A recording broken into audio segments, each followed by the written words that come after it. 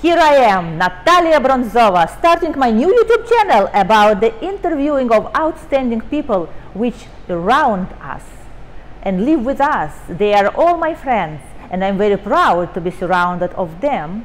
And here, first lady I will interview is the beauty queen Camila Avanesyan. She's very adventurous, a very straightforward girl, very smart, very bright, and she study perfect. She studied Malaysian University when she is born in Uzbekistan and one year ago she came here to study in Kuala Lumpur. And uh, you cannot be not charmed by her personality, by her beauty, by her inner strength. She is very powerful at her age of 20 already. That's why I invited her for the interview because I admire her personality very much. Please welcome Camila Avonisyans. Добрый день! Сегодня у нас интервью с королевой красоты, с девушкой, очень такой серьезной девушкой. Она отличница, она комсомолка, красавица и королева красоты. Вот она приехала в Малайзию год назад, и зовут ее Камила Аванесянс. Вы скоро услышите это имя по многим, по многим вопросам. Она уже, уже стала очень известна, ее снимают в рекламе, э, приглашают везде. Камила наша новая звезда. Здравствуйте. Камила. Здравствуйте. А меня зовут Камила, я из Узбекистана, и мне 20 лет. Только 20 лет, но она уже столько успела в жизни. Вот мне всегда было интересно, как рождаются люди, которые вот, вот у нее какой-то мотор вот есть, и вот она идет по жизни с ним. Вот как, как детство проходит таких людей, которые вот э, добиваются Ну, того, того. Если честно, с самого детства я занималась, я вела активный образ жизни, я занималась танцами 11 лет, я ходила на плавание, я э, занималась бисероплетением, ну, мои родители всегда хотели, чтобы у меня был активный образ жизни, и я пыталась играть на пианино, но у меня так и не Даже так. получилось, потому что у, моей роди- у моих родителей, у мамы и у тети они закончили музыкальную школу, но я не смогла. Но я до сих пор мечтаю, это моя мечта, научиться играть на пианино. Игра на пианино это и моя мечта, которая пока еще не осуществилась, хотя я уже многие осуществила. Но еще ничего не поздно. Я думаю, в процессе я скоро займусь этим делом. Вот как, вот как. У человека хватает времени на все. Она учится, она помогает, то есть она много чего делает. И в спортзал ходит, что я иногда смотрю ее, ее сторис и очень удивляюсь, что как можно все успевать-то. Она и там, и тут, и везде. Не привыкла отдыхать. Что вообще вот э, Камила родилась в Ташкенте и год назад, да, переехала в Уже Малайзию второй учиться, год, уже второй года. год. Да. И как вот этот переезд, вот как он вообще произошел в жизни? Это все вышло спонтанно. У меня отец, он работал в Малайзии около полугода, и ему нравится эта страна, потому что она также мусульманская, и многие правила и законы э, одинаковы с нашей страной, с Узбекистаном. И эта страна безопасна для учебы, для жизни. И это так вышло внезапно. И мне родители сказали, давай вот начинай учить английский, сдавай экзамены и полетишь учиться в Малайзию. Мои родители очень быстро мне это все сказали. Потом Поставили прошел- перед фактом, да, да? прошел тот процесс, документальный процесс, сборы документов, вещей. И э, за три месяца я все собралась, сдала экзамен и прилетела в Малайзию 13 сентября. То есть за три месяца поменялась жизнь, так? Да. В первый месяц родители мои были со мной, потом через месяц они улетели, и началась моя самостоятельная жизнь. И как самостоятельная жизнь, а, вот какие впечатления, вот, когда Это человек начинает жизнь? Тяжело, но это не скучно, скучать не приходится. Это у меня в первое время я была в шоке, потому что ты должна абсолютно делать все сама, вплоть оплаты электричества, коммуналь... э, до- до- дома, аренды квартиры, потом покупать даже вот продукты, с- мыло даже, все сама. А до этого мама завтрак. или кто? Мама, бабуля, папа, что-то да.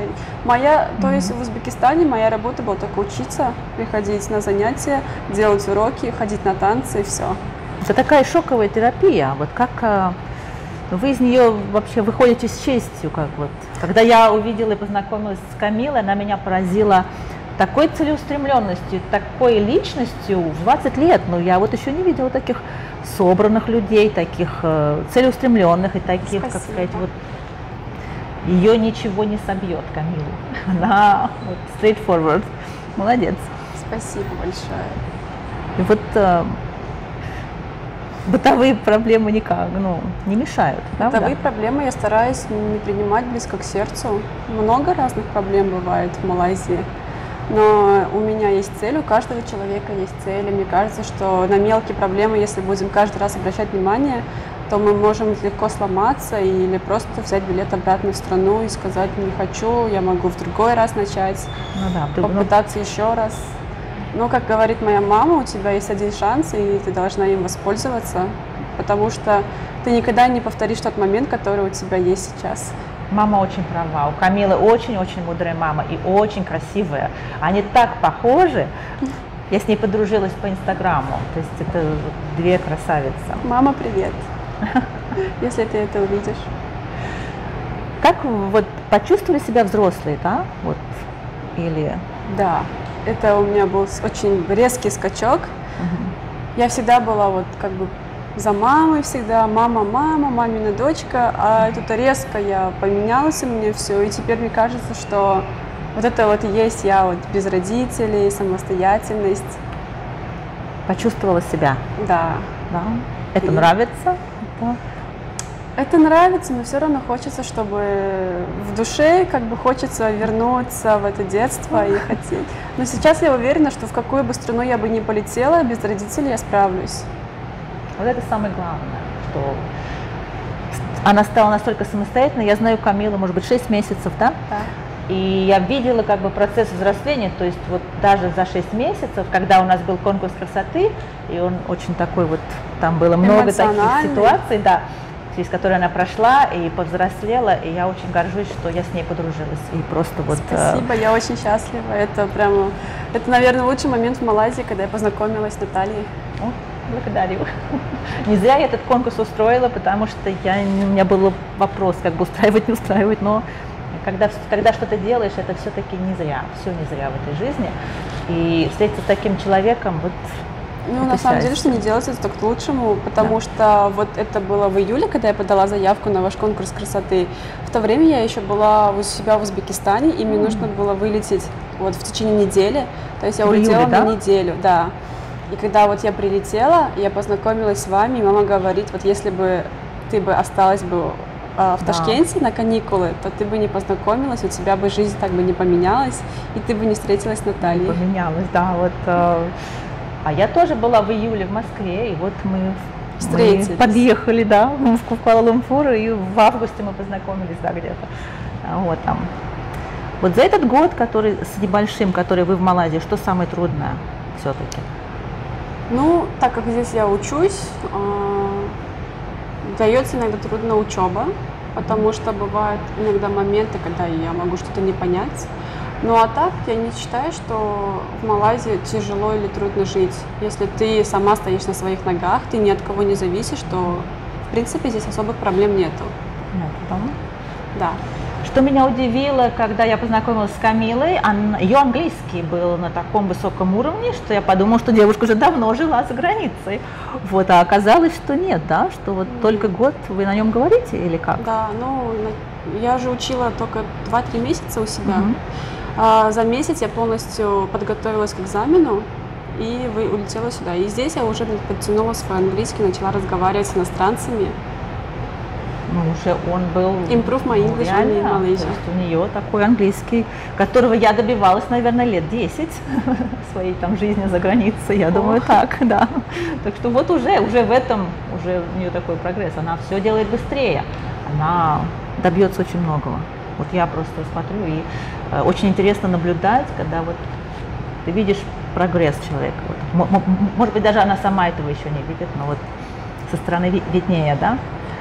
Так, то есть, что больше всего в Малайзии нравится или что, что удивило, что вот, Ну, мне очень нравится погода в Малайзии, она теплая всегда. А, Дождь, дождик, он проходит, он быстро начинается и быстро проходит, но в- здесь в основном теплая погода, солнышко, я очень люблю тепло, я не люблю зиму, А, ужасно мы- не люблю. Мы похожи. Именно поэтому я, наверное, и выбрала Малайзию, мои родители сюда меня отправили. Что мне еще нравится? Мне нравится очень подвижный образ жизни в Малайзии, никогда не скучно. Да. Люди бегают, что-то занимаются, у всех своя суматоха. Это очень мотивирует. Мгм. Мы очень мотивированы. А в идеале хотели бы жить дальше в Малайзии, в Узбекистане или где-то еще? Я об этом еще не задумывалась, но если я найду работу в Малайзии, то я бы осталась здесь, потому что нравится Малайзия. Но я планирую поступить в Америку на магистратуру, когда я окончу здесь свое дегри. Мне еще осталось полтора года здесь учиться. И еще у меня 4 месяца практики. Я попробую подать документы на, в Америку э, на практику. Посмотрим процесс. Вот, следующее покорение Америки. Камила, это, это получится абсолютно. И Америка это очень большой такой шаг в жизни. Да. Если ты покорил Америку, ты покорил мир. Вот. Правильно? Правильно. И уже она, у нее уже есть база, уже есть все, да? Ну, как бы, да. На Малайзии не стоит останавливаться, это правда. Так, а, почему вы больше всего скучаете вот по-домашнему, по еде, по атмосфере, почему? Потому что на протяжении 18 лет я ела домашнюю еду, либо я кушала свою узбекскую кухню. Когда я, я просто привыкла, мой организм привык, и я никогда не кушала spicy food, потому что в нашей стране более сладкая еда, либо же без специй. И когда я прилетела в Малайзию, я увидела, что здесь нету хлеба, Мгм. что здесь очень остро и в основном везде фиш, сифуд. У Да. меня аллергия на рыбу и на морепродукты. Но я сейчас я приучаю себя отвыкать от нашей еды и пробовать что-то новое, новое. Я не прям зациклена на своей, на своей еде или по своему дому, по своей культуре. Нет, просто мой организм хочет родную пищу. Готовить учитесь? Или Да, как? учусь. Да, учитесь, да. В процессе. Когда жили дома, не готовили? Нет. Не нужно, молодец. На, на Камилу смотреть одно просто вот любуешься всем вот от и до. Что для вас такое красота? Ну, как бы вы красивы, вы вот идеально сейчас красивы, но что для вас самой красота и кто является эталоном красоты мужской и женской? Красота – это наша душа. Я считаю, человек должен быть красив изнутри, а не снаружи. То есть, если ты увидишь красивого человека и начинаешь с ним разговаривать, и, и понимаешь, что в душе он не такой, как снаружи, ты перестаешь с ним общаться. То есть это общение с человеком на, на час, на день. А если человек красив так же и снаружи, как и э, внутри, так же, как и снаружи, то ну, человек захочет общаться на протяжении долгого времени. И красота для меня это также доброта, человечность. Кто является идеалом красоты?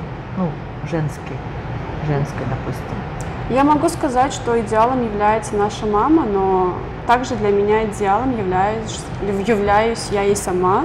То есть для каждой женщины свой идеал должен быть она сама, я считаю. Это правильно. Вот она такая мудрая, 20 лет. Вот это вот. э, Мы не говорили об этом до этого и не, не готовили. Вот э, настолько вот все время права. А мужской красоты вот. В мужчине, хорошо, давайте так перефразируем, какие качества в мужчине вот в идеальном должны быть. Мужчина должен всегда оставаться мужчиной, несмотря ни на что. Бывают разные ситуации. А мужчина всегда должен контролировать себя, особенно когда он женщиной. Он не, он не должен, я не знаю, повышать свой голос или же проявлять неуважение. Это для меня это самое первое качество, потому что в моей семье мужчина должен почитать свою женщину так же, как и свою мать. Потому что в дальнейшем эта женщина родит ребенка. Так что мне кажется, что мужчина должен всегда проявлять свое уважение, почтение к женщине. В чем проявляется уважение мужчины к женщине? Это, это доверие, это отношение вот э, к женщине, как, я не Ну, как- знаю. Когда дверь открывают это. Да, Да, но вот элементарно в мелочах открыть дверь, закрыть дверь, уступить место, про- сказать комплимент или же про- проявить вот этот вот внимание, абс- это всегда как-то так. Здорово. Малазийские мужчины вот как-то отличаются от узбекских? Как? Ну, М, юноши, скажем. Ну да, все отличаются, но именно по культуре, мне кажется, что у них есть вот эта, эта вот черта, когда они уступают место, говорят, когда они вежливые или говорят, вот, комплимент делают. Или если смотреть на китайский, вот local, Ну Chinese да, local, это китайский. противоположность. Китайский, да, это проблема. М. Так. У меня такой вопрос. Вот а, утром вы встаете и идете в ванную комнату. Да. Вы любите свое отражение в зеркале? Я должна любить себя. Если не я, то кто? Ну, должна. Ну а что чувствуется? Вот должна или любите? Это разное. Чувствуется, что я молодая, что я красива. Кайф чувствуется. Да. Несмотря на то, что с косметикой, без косметики, неважно, я люблю себя, я буду любить себя любую. Ну, это правильно. Это моя задача по жизни. Просто сначала сказала должна, но это не совсем. Постеснялась просто. Да. Я думаю, что постеснялась. Должна, ну как бы любишь. Ну, люблю себя, да. Да. Просто у каждого своя самооценка есть, у каждого есть свое, своя, каждый знает себе цену. Но я не такой человек, что я вот знаю себе цену, и я люблю себя. И моя самооценка у меня только вот у меня внутри. И я не любитель ее внушать другому или же показывать. Допустим, кто-то скажет про меня одно, я знаю, что я не такая. У меня внутри я другой человек. И я не собираюсь никому что-то доказывать.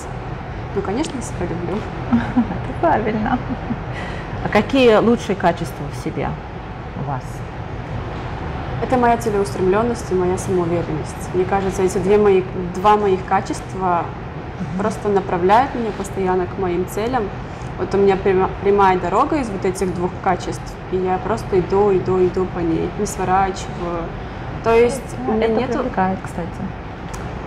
в Малайзии или вообще везде очень много соблазнов. Особенно если у тебя друзья не схожи с твоими интересами, иногда бывает вот такое м, сложно. Приглашают не туда, да. Я- у, меня, Да. у меня тоже бывает. Очень важно стоять на своем мнении и идти только к своей цели. Если ты что-то хочешь, ты это сделаешь. А если не хочешь, это не сделаешь. То есть у меня такого качества, что если я что-то не хочу, а мне это заставляет, и я это иду и делаю только Я потому, знаю, что, Камилу заставить невозможно. А вот эта вот цельность натуры меня поразила, когда человеку 20 лет, такая цельность. Такое понимание, что долж- как должно быть. Вот это вот меня поразило и впечатлило, и поэтому, наверное, мы так подружились. Я Здорово. просто я не следую за толпой, я не иду туда, где все. И я смотрю на вас постоянно, и я вижу, что вас никто не переубедит. У вас вот что вы задумали, вы идете, и мне это очень нравится. Спасибо. Да. Открою маленький секрет. Я недавно задумала день рождения в главном театре страны. Ну, так получилось, да? Да. Работаем. Ну, вот да. Есть что-то в себе, что бы хотелось изменить? Или все идеально? Нет, конечно, над каждым человеком, у каждого человека есть свои недостатки, есть свои плюсы. У меня мой минус, я опаздываю, но у меня есть, мне нужно это качество себе изменить. А, у меня есть еще такое, этот, я могу немножко не, этот, не контролировать свое время. Иногда Мгм, такое да, бывает. Это, кстати, правильно, потому что когда человек в гармонии с собой, он приходит именно вовремя. И не важно, что если он опоздал даже по времени. Поэтому Камила много раз извинялась, когда опоздала. Но я на это внимание не обращаю, потому что я, наверное, и вообще еще- еще меньше этого всего всему следую. Вот. Как вы себя видите через лет 10, например? Где, какая Камила?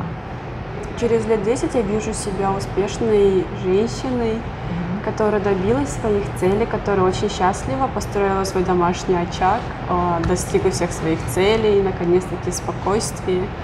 Ну, конечно же, у которой будет еще больше дел, еще больше работы, развиваться, саморазвитие. И через 10 лет я вижу, что я осуществила мечту своих родителей. Какую? Что я там построила свою жизнь на отлично. Они будут спокойно. Да. А? Я думаю, мама уже так у вас уверена. Если отпустила так далеко, значит, она доверяет, значит, она знает, что вы не собьетесь. Значит, Ну, она права. моя мама в этом плане, да, она доверяет мне, она уверена, и она тоже знает, что где бы я ни была, я найду выход, и где бы я ни была, я э, найду себе свой путь и не собьюсь с него, и я не пропаду. Это точно. Это вот э, Камила молодец в этом плане. Какое для вас главное событие уходящего года? Потому что сейчас уже скоро Новый год, и как-то все подводят итоги. Вот что такое главное произошло в этом году? В этом году для меня это было вот этот конкурс красоты, он прям тотально поменял мою жизнь, можно сказать. Потому что я думаю, если бы не этот конкурс красоты, я бы не стала, а, не вела бы такой активный образ жизни, как сейчас. Я знаю, что я бы училась, там, не знаю, как студент. У меня был студенческий, чисто студенческий образ жизни. Да. А сейчас я совмещаю походы с вами на Светскую разные жизнь. ивенты. Да. Ну, вам что это- понравилось стоять на, на сцене, стоять, выступать там или показывать костюм? Вот как, Да, какие я вот именно я рада этому, потому что я 11 лет занималась танцами, и мы выступали в разных точках Узбекистана, либо же мы выезжали за границу. То есть мы представляли, и можно сказать, я на сцене с 7 лет, ну, я танцевала, и это был групповой коллектив. У меня были сольные танцы, но это было не как показ мод, либо же стоять на сцене представлять саму себя. Мгм. Я представляла танец, Ну да. костюм. Саму себя это ответственность. Это вот у Камилы был национальный костюм, и вот такие движения были, мне очень понравилось. Я думала, откуда это, я тогда еще не знала, что она танцует. Это, это Да. было здорово. И за национальный костюм Камила получила лучшую премию за национальный костюм, да, Са- Саша? Я вот так спрашиваю Камилу, хотя я сама это объявляла. Просто слишком много всего произошло. Да, много, много, много. Это да. Есть какие-то моменты в жизни, за которые, которые хотелось бы переделать или забыть? Стыдно вот есть? Давайте так, из- от хорошего к плохому. Не знаю, я, я, у меня образ жизни это как, что было, то прошло. Даже если что-то было плохое, я это уже, я не забыла, но я стараюсь не повторять своих ошибок. Что было прям такое плохое в моей жизни, это, наверное, не было или еще не произошло. Но были плохие, грустные моменты, да. Но чтобы я прям хотела и, рв- и рвалась вернуть эти моменты, чтобы исправить, нет. Даже если бы было бы, я знаю для себя, что я бы познала урок из этого не совершала бы это в дальнейшем. Так что то было, что было, то прошло. Вот это вот в ней такая мудрость говорит. Вот я не знаю, это какая-то мудрость предков даже, наверное, в Камиле. Вот она ее подчеркнула, что редко бывает э, с людьми ее возраста. Вот это очаровывает, просто очаровывает. Я вот... А какой для вас язык родной? Вот Русский. русский, да? Мой русский, да. По-узбекски говорите? Я говорю, но не, не любитель разговаривать на узбекском. Я разговариваю на узбекском с папой. Ага. Иногда я могу просто поздороваться, попрощаться, потому что у нас здесь есть узбекское посольство, и я могу там поговорить на узбекском. А в школе училась на русском? Да, в русской школе, в русском колледже, М. в русском садике. Мне просто все это интересно, как вот э, развивается. Да, но я говорю на, на узбекском, Ага. Книги читаем на русском, на русском. да? Но сейчас на Фильмы на русском тоже. смотрим или на, ну, на английском тоже, наверное. Нет, ну в последнее, вот за год я смотрю только английские сериалы, фильмы, потому что они тоже помогают improve my English. Да, конечно. Потому что я смотрю на их разговорно. И я стараюсь смотреть фильмы на английском и с субтитрами внизу тоже на английском. М, тоже. Да, Ну то есть да. бывает... Не услышишь, но поймешь. Да, что-то не услышишь, не поймешь, ты прочитаешь слово. Не если ты не знаешь это слово, ты запишешь и перевод себе сделаешь, и у тебя плюс одно слово в, словарь, в словаре. Да, потому что когда есть ассоциации, тогда лучше все запоминается. А, Вы хотели бы родиться в другое время? Или вот это идеальное время для Камилы? Нет. Не знаю, может, я такой человек, но я люблю то, что я имею сейчас. И если я родилась в это время, значит, это мое время. Mm-hmm. То есть я не люблю, если бы я бы родилась друг, вот в свое время и хотела бы жить в другое время, то я бы хотела бы жить другой жизнью. А это моя жизнь. Я хочу жить своей жизнью, не какой-то фейковой, чьей-то другой жизнью. Угу. Но бывает так, посмотришь какой-то фильм такой красивый, старинный, думаешь, почему я вот не там родилась? Нет такого? Нет, я и везде ищу свои плюсы. Там есть свой плюс. Где я родилась время, у меня свой плюс. Так что нет, я люблю свое. Ну, понятно. А, кто, по вашему мнению, самый великий человек в мире вот, за всю историю или за последние сто лет? Кого вы знаете? Самый великий человек? Великий человек. Это моя мама, самый великий. Вау. Для меня это моя мама, потому что я знаю ее, как, так как я знаю свою маму, я не знаю никого в таком совершенстве. Какие ее лучшие качества тогда? Ее это вот чем, моя... чем вы восхищаетесь? Это то, как она любит своего ребенка, так как она сильно переживает. Между мной и моей мамой такая связь, что она просто меня чувствует на таком большом расстоянии когда мне плохо, но у нее начинается какие-то плохо со здоровьем, у нее может заколоть сердце, она понимает, что со мной что-то случилось. Ой, не знаю. У моя мама чувствует своего ребенка. И в будущем у меня есть свой вот этот экземпл, э, как, как нужно быть хорошей мамой. Я уверена, что это вот именно про вас, что вот хорошая мама. Так что, наверное, да. Я не люблю ставить в пример других людей, когда у меня есть мой пример, мама. жизненный пример. Но мама будет гордиться, я думаю, таким ответом, что вот это просто подарок маме. Нет, я, это, это правда. И для меня у многих людей, наверное, свой пример это наши мамы. Особенно, мне кажется, девочки моего возраста могут со мной согласиться, ну не все, конечно, каждого есть свой пример. У кого-то есть пример актрисы, знаменитости, писательницы, но у кого-то может быть пример это наставница. Да. У меня тоже была своя наставница. А, она постоянно меня учила, По помогала, танцам? да, угу. мой хореограф. И вот наша наставница, она была как мама для нас всех. Угу. Какая самая большая мечта вот, Моя мечта – это путешествовать, побывать во всех странах, узнать всю культуру. Жизни не хватит на это, наверное. Ну вот это моя мечта в длину всю мою жизнь, до конца моей жизни. Ну, чтобы узнать культуру, нужно пожить, вот, наверное. Да, кстати, да. Я в какой-то мере, наверное, тоже вот так же живу то там, то там, то там. Хм. Так, так это интересно, да. А. Что главное в человеке? Наша совесть, совесть, совесть наша душа. Ну, душа это как бы входит, не знаю. Вот слышать понятие совести от человека, которому 20 лет, это настолько приятно, это настолько поражает и настолько трогает, что как бы такие понятия остались где-то в моем детстве. Вот, я их давно не слышала. И это приятно, что вот вы такая, вот Камила, она такая, она вот целостная, она очень мудрая. И она совестливой. Вот это вот э, я восхищаюсь просто, серьезно. Вот. Если бы вы выиграли миллион в лотерею, на что потратили? Ой, такой вопрос. А. На путешествие, я думаю. Я не знаю, очень много вариантов. Но иногда, если говорить по совести, Какую-то бы часть я бы дала на пожертвование в своей стране. У нас есть фонд для... Ну, везде, в каждой стране есть, но у нас есть именно фонд для детей, чьи родители болеют серьезными болезнями.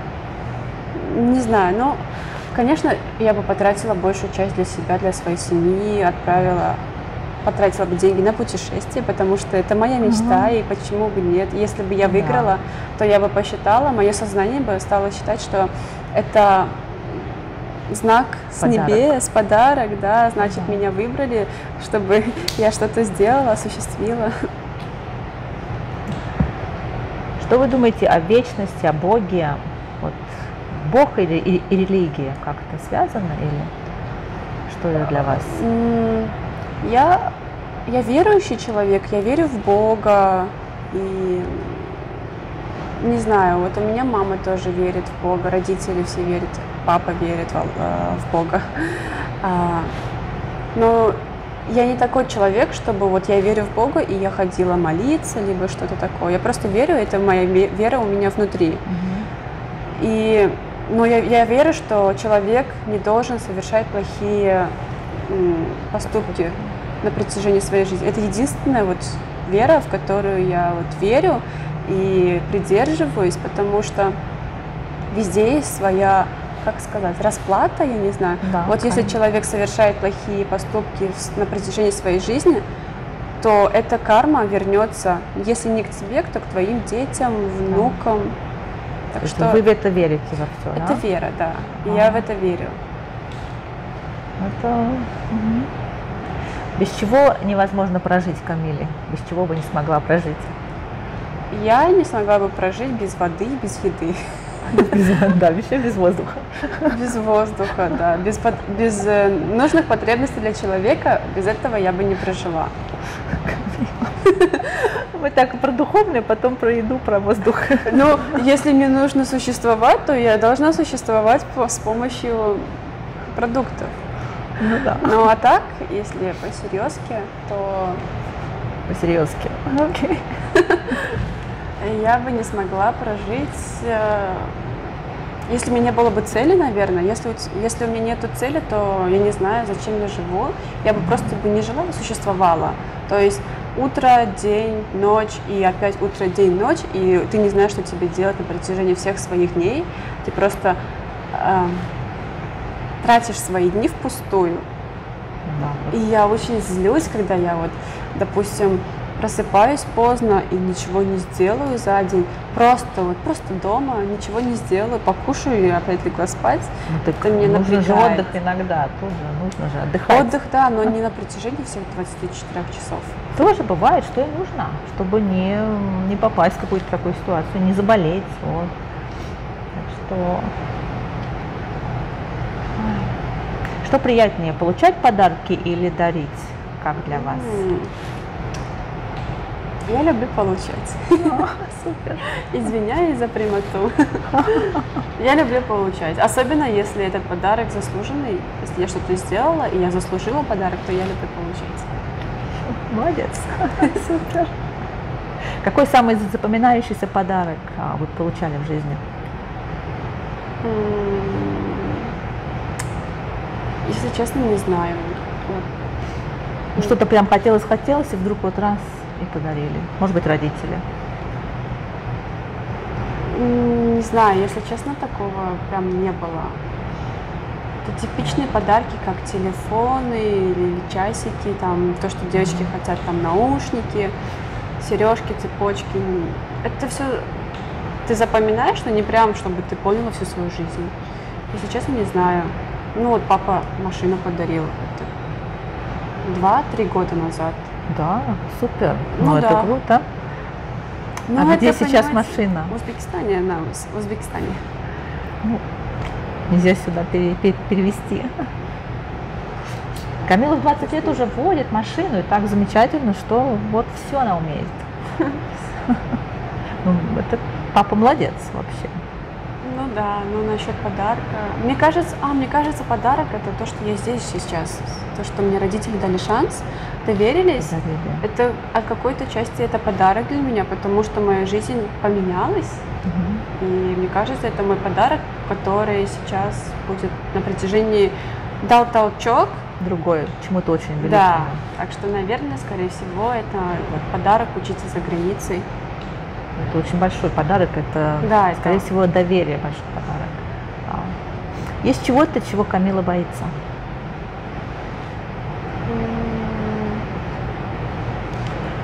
Если честно, если говорить вот по этой же теме, боюсь, в какой-то момент боюсь сдаться, наверное.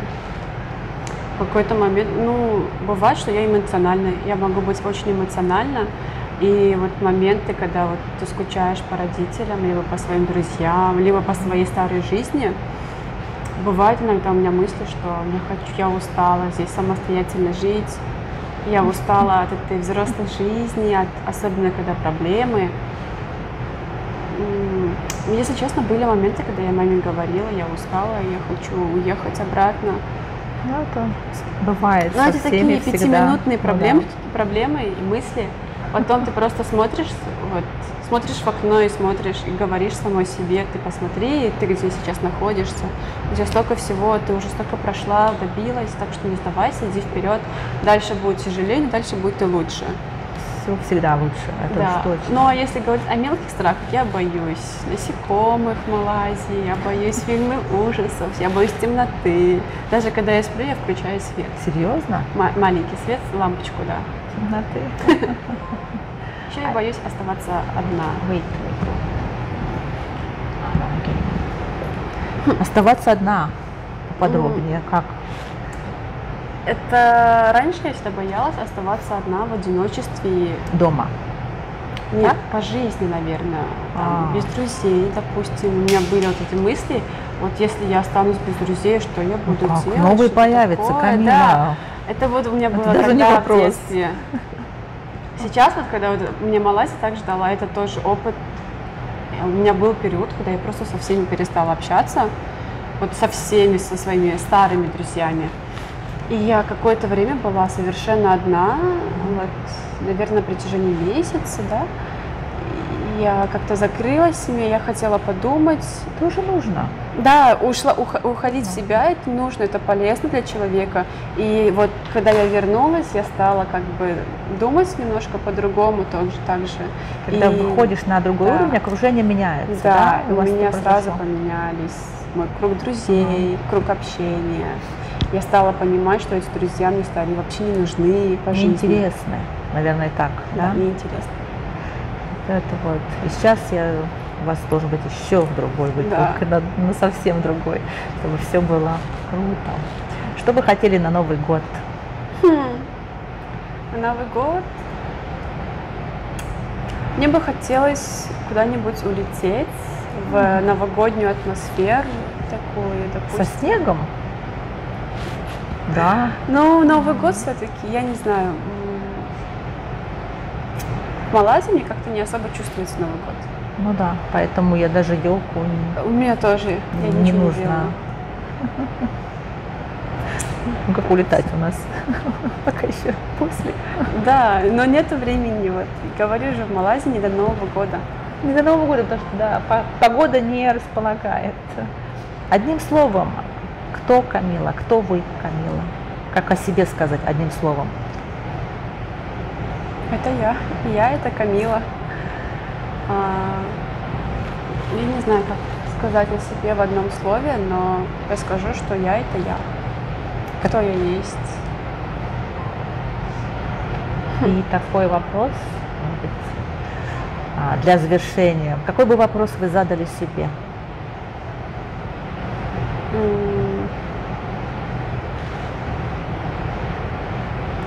Насколько, вот, как высоко я могу подняться в жизни, как многого я смогу достигнуть, это мне очень интересно.